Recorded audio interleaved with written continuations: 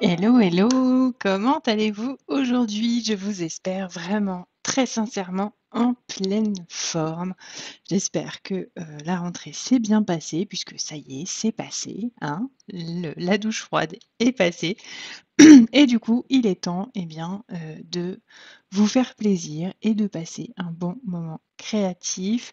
Merci beaucoup d'avoir commandé ce club de scrap. Je ne sais pas où vous en êtes dans les différents projets, mais du coup, cette fois, nous allons attaquer le mini-album. J'espère que vous allez prendre beaucoup de plaisir à le réaliser en ma compagnie. Je vous rappelle que vous avez reçu par mail euh, le lien des quatre vidéos, enfin les liens des quatre vidéos euh, correspondant à chacun des projets que je vous propose pour ce mois de septembre, accompagnés de chacune de leurs fiches techniques euh, que vous pouvez donc retrouver en pièce jointe dans votre mail. Et si jamais vous ne les retrouvez pas, ici, juste en dessous, dans la description, vous avez un lien sur lequel vous pouvez cliquer euh, et ça vous emmènera directement vers la fiche technique à télécharger et à imprimer et à garder en souvenir si vous voulez faire et refaire le projet. Et pas seulement puisque donc sur chacune des fiches techniques vous trouverez un QR code qui vous mènera vers la vidéo en question. Donc du coup vous avez un super méga package pour pouvoir faire et refaire les différents projets à différents moments de l'année si vous en avez envie et selon vos inspirations et vos besoins du moment. Alors, voilà un aperçu global euh, de ce dont on va avoir besoin, hors évidemment encre et set de tampons que je vous montrerai au fur et à mesure pour réaliser ce mini-album. Pour la base, je vais vous montrer sur une feuille puisque les quatre seront réalisés de la même manière, d'accord? Et évidemment, après, on verra ensemble l'assemblage complet euh, de cet album. Donc, les quatre pages de cet album mesurent toutes 21 par 21, donc je parle bien des papiers unis. Pour celui-ci, j'ai pris Calico Coquelicot, Blé Sauvage, Corail Calypso et Vert Jardin. Voilà, ce sont des couleurs qui sont sans aucun problème coordonnées avec la collection puisque ces couleurs se trouvent toutes dans le papier à motif mis à l'honneur ce mois-ci euh, de la collection donc Balade au jardin qui est absolument magnifique et dont vous pourrez vous servir toute l'année sans problème. Euh, et du coup, donc, on est certaine que ces couleurs vont forcément s'adapter avec les papiers à motif de la collection. C'est trop cool. Alors, je vous propose de commencer à voir comment se réalisent les différentes pages. Je vous rappelle, elles sont toutes les quatre identiques. Donc, je vais vous montrer une fois en direct, enfin dans la vidéo là, comment faire les pliages, etc. Euh, et il faudra reproduire donc sur les trois autres, sans souci, exactement pareil. Ça marche? Alors, je fais de la place, je récupère ma feuille et on va pouvoir démarrer ce mini-album ensemble. C'est parti, on y va. J'ai donc ma feuille unique qui mesure 21 par 21, c'est un carré. Nous allons simplement faire en sorte que cette feuille soit pliée en 4. Donc, je me positionne à 10,5, je retourne et de nouveau à 10,5. Donc là, on a fait une croix en pli nickel. Je laisse ma feuille dans mon coupe-papier pour l'instant. Je vais descendre madame et je vais venir créer une ouverture. Je vais désolidariser ces deux carrés-là en m'arrêtant bien à la ligne horizontale. D'accord, je viens hop, créer une petite coupe ici. Voilà, on s'arrête au centre. Il me manque un petit chouïa. Yes. Voilà. Donc, vous voyez, c'est très simple. Tac, tac. Alors, l'idée est de venir plier cette partie. Alors, attendez. Hop, on va faire comme ça. D'accord De venir rabattre ceci par ici. D'accord? Donc, on fait bien attention à ne pas déchirer et à bien aligner partout. On accompagne bien le papier. Voilà, alors avec mon plioir, ça va être drôlement mieux, n'est-ce pas? Voilà, j'aligne bien partout.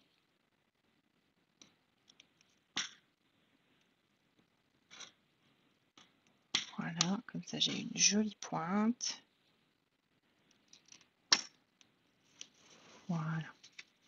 Ok, donc j'ai désolidarisé, j'ai ma coupe ici sur ma droite et je viens rabattre ici comme ceci. D'accord Donc je vais venir quand même marquer mes autres plis.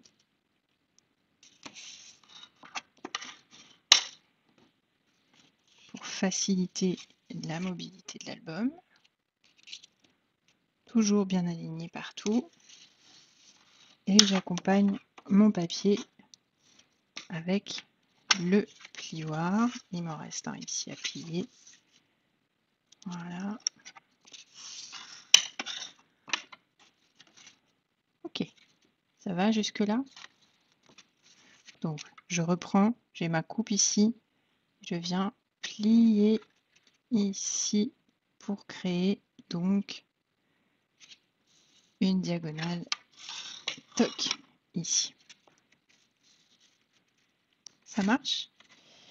Et du coup, on obtiendra un truc qui va ressembler à ça. Mais ça va se plier. Voilà.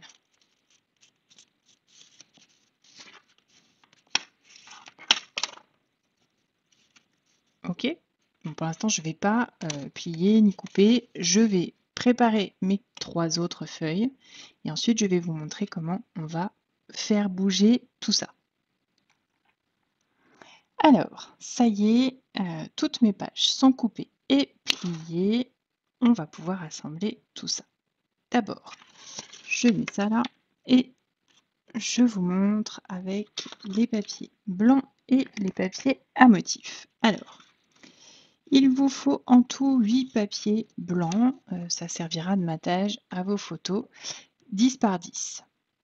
Et pareil pour les papiers à motif. Alors, on va garder cette page à plat et on va la mettre comme ceci devant nous. Donc, on a ici le pli diagonal, d'accord, et nos ouvertures ici. Bien. Ici, et là, nous allons coller nos matages photos. Si vous voulez les tamponner pour indiquer l'emplacement, vous pouvez sans aucun problème. Ici, votre papier à motif, eh bien, il viendra là, mais comme vous vous en doutez, nous allons le couper en diagonale. Donc pensez bien à respecter le sens de votre pli, d'accord, avant de couper votre diagonale. Vérifiez bien avant. Hop, donc là, c'est parti. Je vais couper en diagonale. Voilà. Et du coup, on va pouvoir venir le mettre. Oups, pardon, excusez-moi pour le bruit. Vous pouvez aussi choisir de mettre en recto verso si vous voulez. D'accord? Et on vient coller. Donc vous faites ça sur vos quatre pages, donc vos papiers de matage, vos papiers à motif. Faites bien attention au sens. Sur votre gauche, vous avez la découpe. Sur votre droite en bas, vous avez le pli euh, en diagonale. D'accord?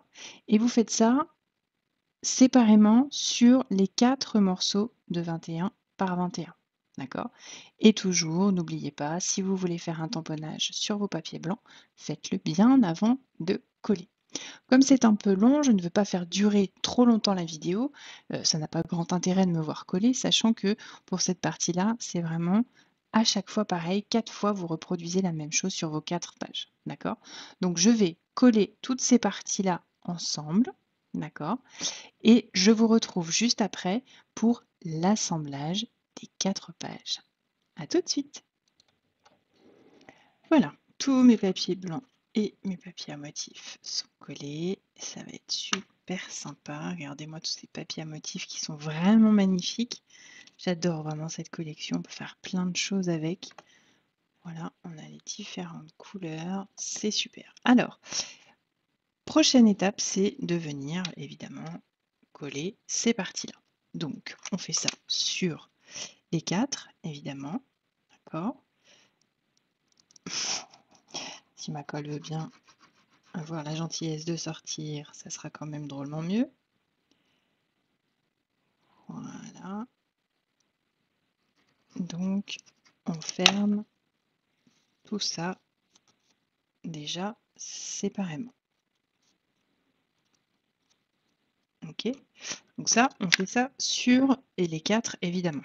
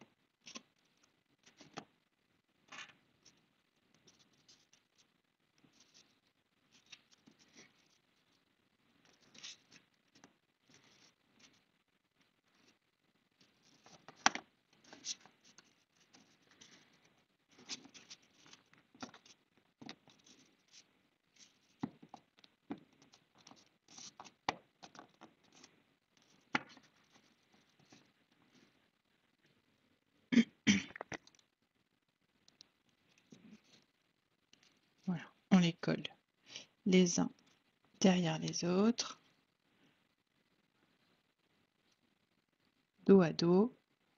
D'accord, donc j'ai la première feuille qui est comme ça. Ok, on vient coller l'autre, on vient coller l'autre, et pareil ici.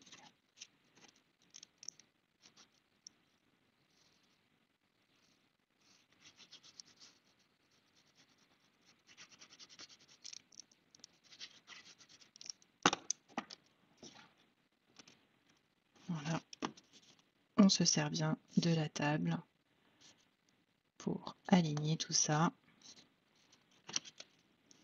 On n'hésite pas à appuyer pour que la colle prenne bien.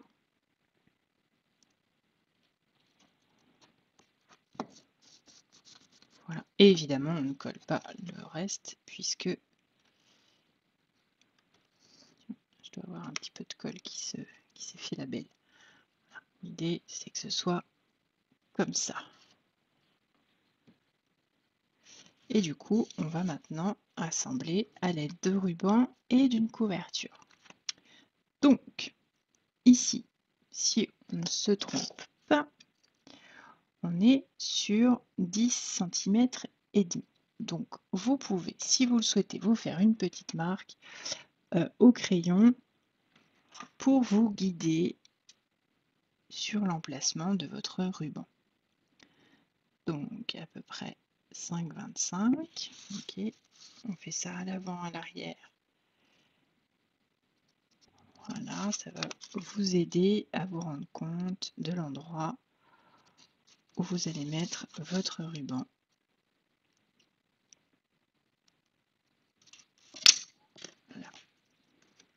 Ça va aider en fait à le positionner.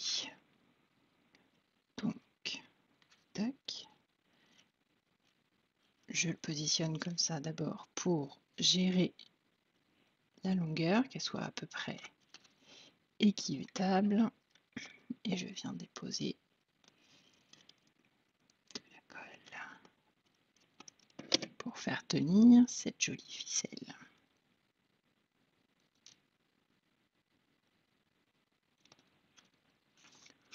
Voilà, et je vais faire pareil de l'autre côté.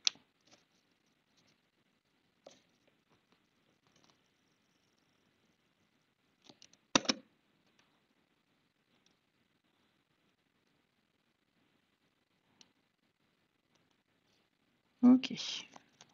Voilà. Comme ça, il est posé bien droit. On est tranquille. Je le mets de côté quelques instants, puisque maintenant, on va s'attaquer, ou pardon pour le micro, à la couverture de l'album.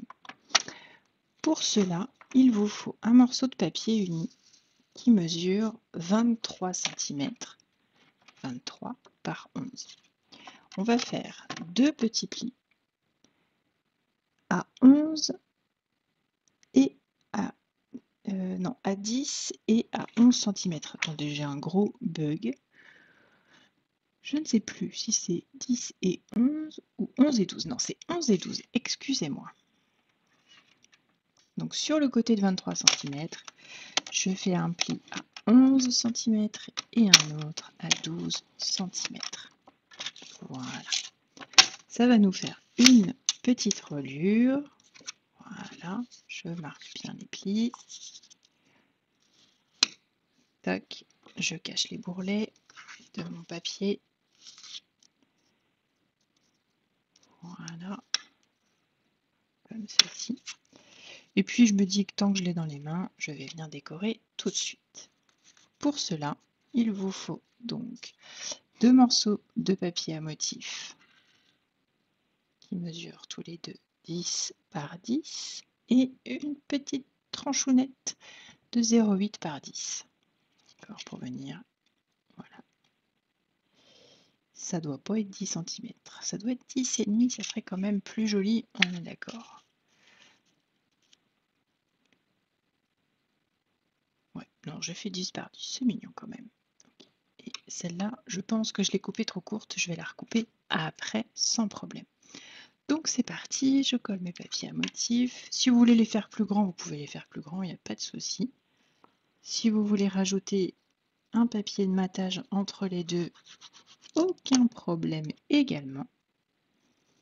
Hmm, mais dans quel sens? Allez, on va mettre comme ça.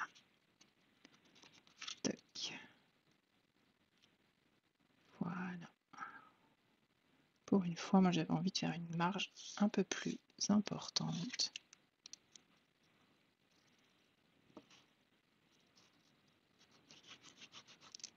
Voilà.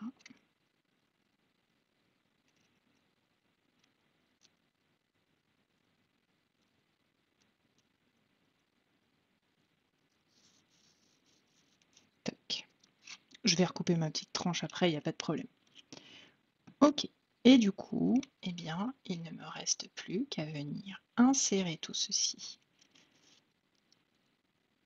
dans la couverture. Et du coup, on va avoir un superbe album, vous allez voir.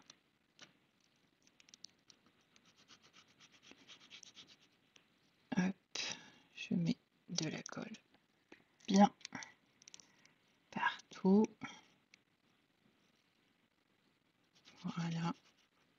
En plus, on aura l'avantage que le ruban, la ficelle sera encore mieux tenue. Je vérifie le sens quand même, parce que ce serait ballot. Hop.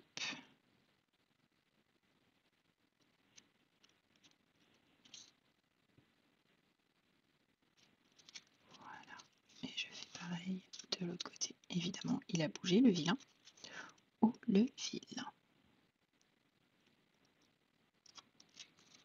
tu veux rester comme ça, tu resteras comme ça.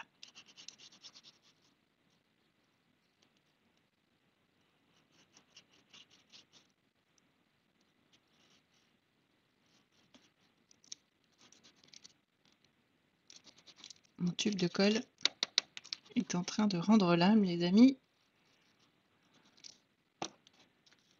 Et je referme. Je vais même laisser ma tranche blanche, tiens.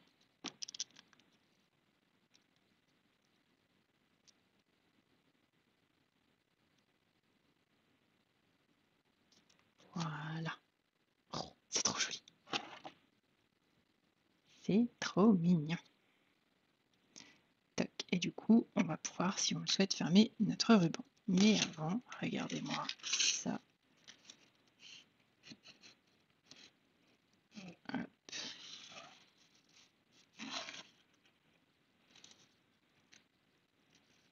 ça comme ceci. N'hésitez pas à jouer avec la tranche. peu, elle rentre un petit peu à l'intérieur, mais à force d'être bougée, il n'y aura pas de souci. Regardez. C'est super chouette, mais ça peut aussi se feuilleter comme un livre. Vous tournez les pages les unes après les autres et du coup ça s'ouvre. C'est vraiment très très sympa. Alors, une petite déco à l'avant, je vais juste mettre une petite étiquette. Et je vais utiliser, je pense, eh bien le même sentiment que j'ai utilisé pour l'intérieur. Et pour cela, je reprends la fameuse perforatrice.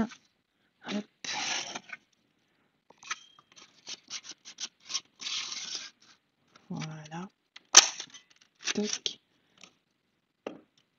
Et je vais venir donc mettre ce petit sentiment.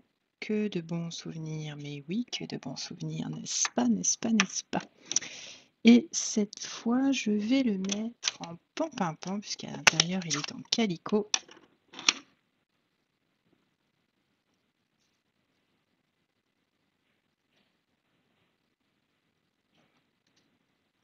Voilà, ça va être très joli sur l'avant. Et je mettrai des petits embellissements pour finir. Voilà, que de bons souvenirs. Il n'y a pas besoin de grand chose de plus. Hein. Je vais coller ça avec mes dimensionnels. Le petit album est tellement original. Hop, voilà.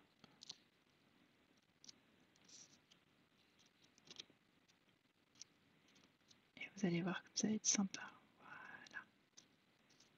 Que de bons souvenirs. Ça laisse présager plein de belles choses, n'est-ce pas? C'est chouette, hein? Tout en couleur. C'est vraiment très très sympa. J'aime vraiment beaucoup. Je suis trop contente. J'espère que vraiment cet album va vous plaire aussi. Donc ça, ça peut être idéal pour faire un petit cadeau, par exemple. N'est-ce pas? Pour offrir de jolis souvenirs. Voilà, un beau petit nœud. Et c'est nickel. Et voilà, ça y est, le mini-album est terminé. Je ne sais pas où vous en êtes dans vos projets du club de scrap du mois de septembre. Peut-être était-ce le dernier ou peut-être était-ce le premier.